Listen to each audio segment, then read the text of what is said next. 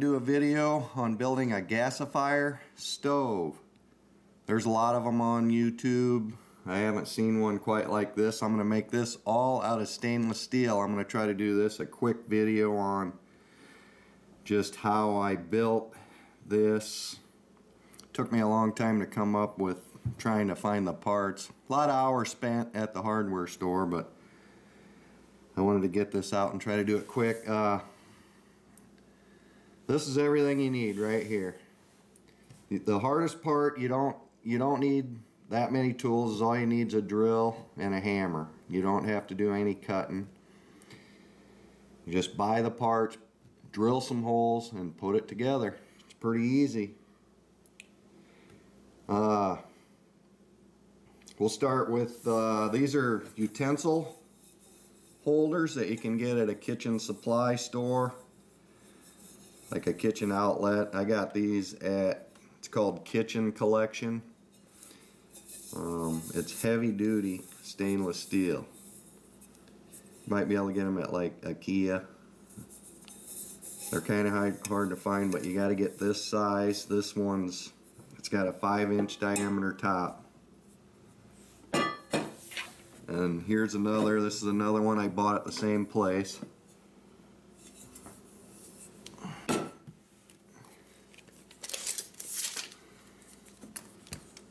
This one's about six inches tall and this one's approximately seven inches tall.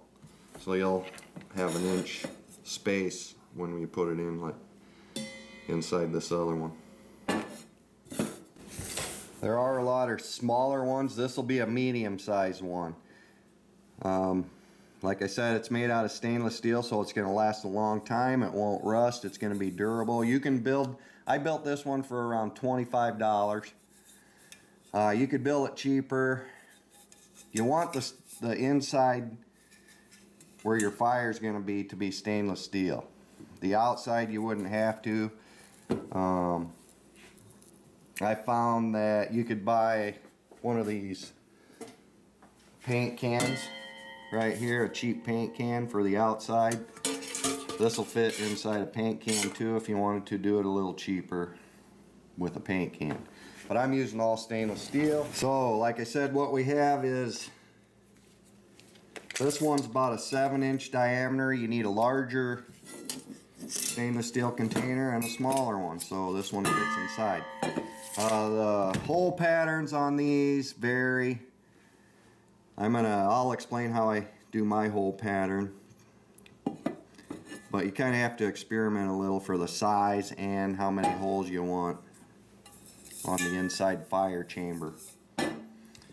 Another thing you're gonna need is some stainless steel screws, machine screws. These are 1024 by an inch and a half long. And they're right here. I already have them installed. So you need the screws and the nuts. 1024. It's important that you get the smaller one and I'll show you why. So this this screw here, this big if it's too big it won't set on top of this container real nice.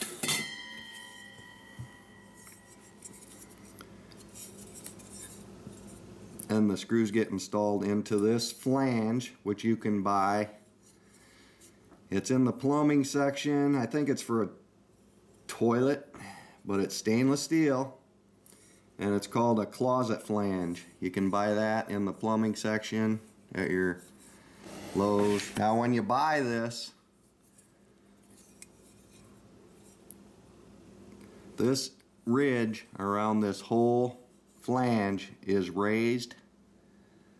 So when you get it, you're going to have to lay it flat down onto a piece of concrete and beat that down flat. And I'll show you why in a little bit here. Also, these where the screws go in, where all these, there's six screws that's raised also, so you're going to have to beat them down flat.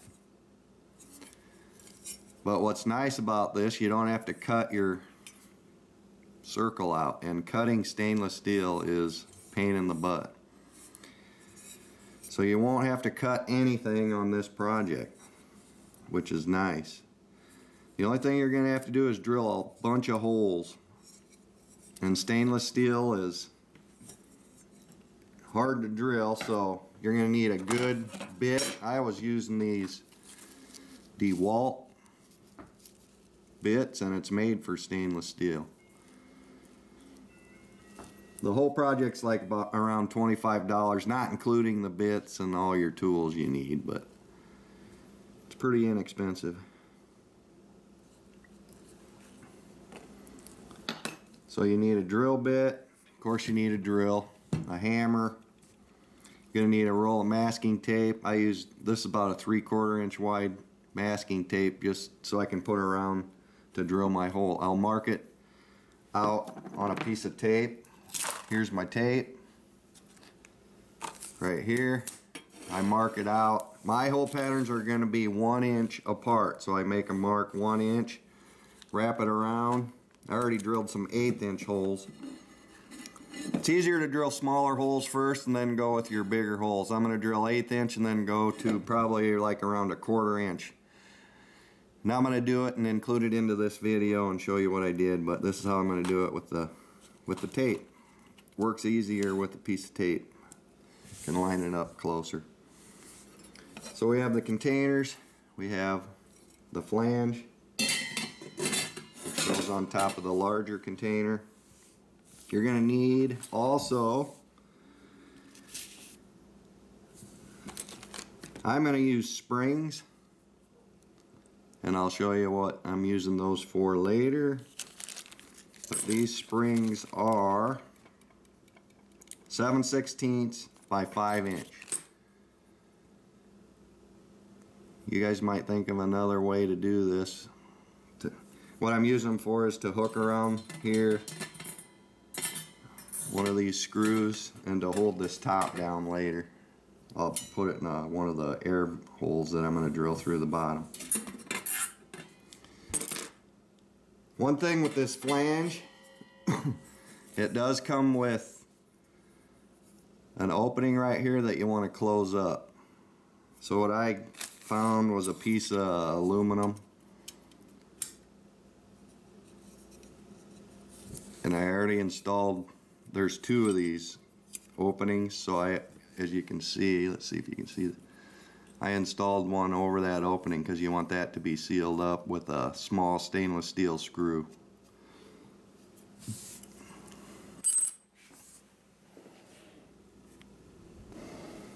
So what I did so far, as you can see I installed the six screws into here, into the flange. I did drill, I put my tape around, it's a three quarter inch, so it's about three quarters of an inch. From the bottom up I drilled some eighth inch holes and they're one inch apart. Around the bottom and about three quarters of an inch from the top I drilled some eighth inch holes. I think I'm gonna make these a quarter of an inch. Like I said there's a lot of different sizes but you just have to experiment I'm gonna do mine one quarter inch top and bottom one inch apart. Now some people, which I might do also, is drill quarter inch holes all the way through the bottom, a bunch of holes so the ashes fall through because this is going to be your fire chamber. So I think I'm going to leave these an eighth of an inch because I really don't think you'll need you might not need any holes right here if you do the holes in the bottom. And that's what I'm, I think that's, that is what I'm going to do. I'm going to drill some quarter inch holes in the bottom. But as you can see, this inside fire chamber, once you flatten out the underside of this, goes right through this flange and it fits perfect. Nice and snug, nice and tight. You want a tight seal around that. So, that goes on top like that. And you pretty much can see how this is going to go together. So all I have to do is drill a bunch of holes and I'll do that now and show it to you. Two springs, one on each side, that's going to hold this top down. Simple, easy. We'll do this video and do it number one, try to keep it short and I'll do a second video with some burn testing. Let's drill some holes. By the way, this does this does come with the holes in it, the six holes for your screws here. So you don't have to drill those holes, which is nice, but is it I got my tape around. Can see how I have it marked every inch. I'm going to drill eighth inch holes just for my first hole, pilot hole. And I'm going to drill it close to the top of this tape so it'll look nice and spaced about three quarters of an inch from the bottom. Let's do that now. This will be the outer sleeve, the larger pot. You have to drill holes in the bottom and these will be your primary uh, primary air holes. You have to drill holes so the cool air can go in. There'll be a dead air space which heats up and that rises and goes in through the top holes of the inside chamber, the inside fire chamber. Let's drill the holes. Okay, as you can tell, I got my holes drilled one inch apart. I put them down just a hair lower, about in the center of the tape. I'll take the tape off and I'm going to drill some quarter inch holes. Top and bottom, inside chamber, and just the bottom of the outside chamber. Let's do it. It goes through pretty good. It only took me about five minutes to drill all these holes if you have a really good bit and I used eighth inch bit. Okay, I got all my holes drilled. Probably took me about 15 minutes. Got put all quarter inch holes in the inside chamber, top and bottom. Looks really nice. There's what it looks like. And then I used uh, I put quarter inch, but it looked too small on the outside chamber. And I might have to make them bigger later, but I got three, I put a 3 8 inch holes in here. I got 20 holes in this outside chamber and 15 holes top and bottom inside chamber. Let's put it together. I have one more thing to do. I'm going to install another cover plate onto my flange here.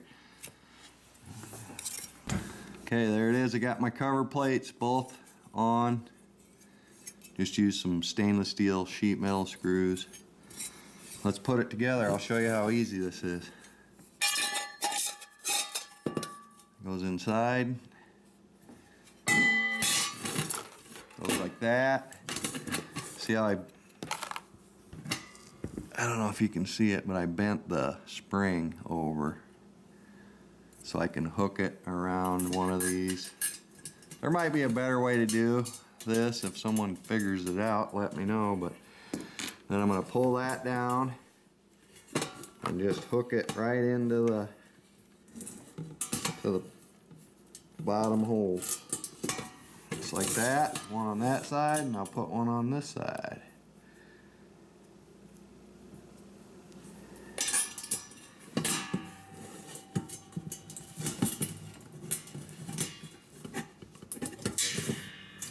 There it is. There's your stove.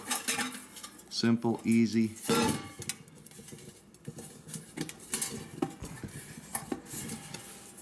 This is video one. Thanks for watching everyone. I'll do a video two on some experimentation with this. Thanks for watching.